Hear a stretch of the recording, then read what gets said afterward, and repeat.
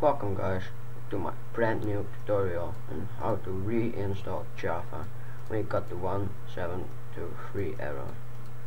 Firstly, what to download? First, download Windows Cleanup and of course download the newest version of Java. Put these links both in the description.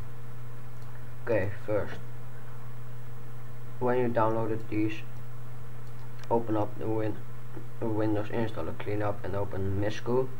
We got Windows 7. If you have any other operating system, just open the other file called msizap.exe. Okay, let's open. Okay. Now scroll down until you see some files from Java.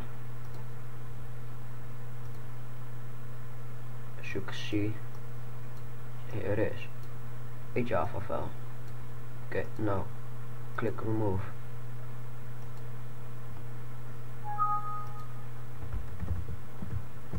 After removing, just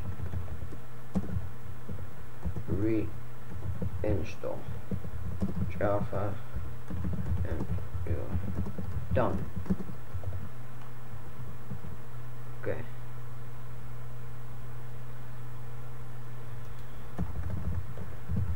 Thanks for watching. Subscribe to my channel for more fits.